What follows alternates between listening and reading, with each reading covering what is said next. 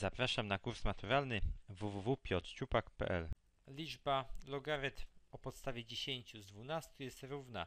Zobacz, tutaj nie ma podstawy, ale jak nie ma podstawy, to znaczy, że w podstawie w tym miejscu stoi dziesiątka.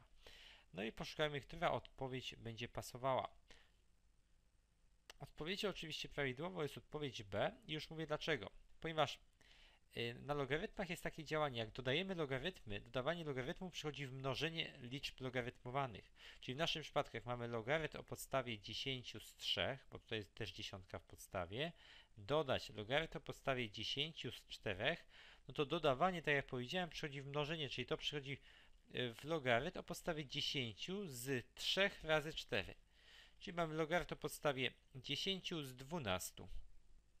No i to jest faktycznie, widzimy, czy odpowiedź B pasuje.